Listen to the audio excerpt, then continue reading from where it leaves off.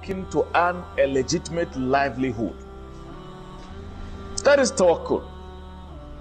So that is why what you see today on the street, small children begging, small Muslim children begging, looking at the window of your car, looking inside the car, which is a very bad behavior.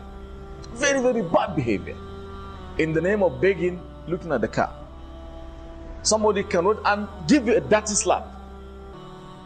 It's bad way. How can you come? Be peeping. Is it begging? It's nonsensical behavior. That is very bad. You do it to a Muslim, it tolerates you. Maybe next tomorrow a non-Muslim is going to give you a dirty beating. Because the feeling is that, well, is makaranta Allah, Allah is there to give us. You extend your hand to be given, you can never extend your walk, your legs to walk freely. Walk and earn your livelihood. That is part of tawakkul. Go on the farm. It's not rainy season. Go, go on farm.